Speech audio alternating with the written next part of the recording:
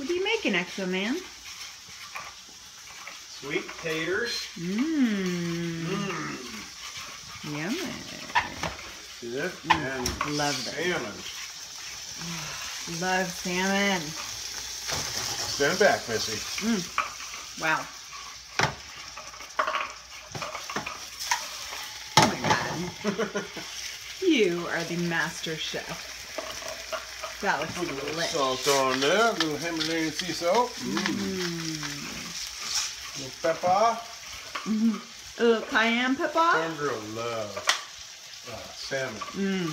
I love We usually eat salmon with skin. I love skin, but. Yeah, I we didn't have it. have it. but this is the an, uh, no antibiotic salmon. We love to get I these can't believe they uh, give fish antibiotics. It's Yeah. crazy. raised without antibiotics.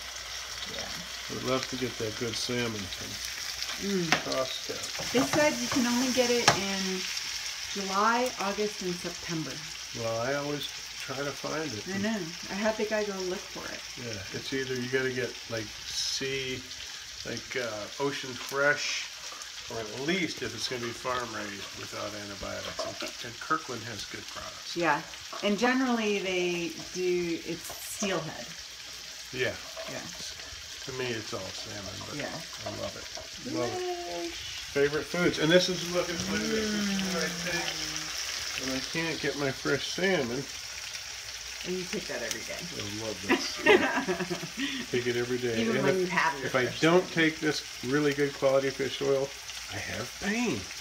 Yeah. Joints, tendons, my butt, whatever. Your butt. Gotta have that fish oil. Gotta get rid of the butt pain. Bye, Exoman. Bye, Exoman. Mwah.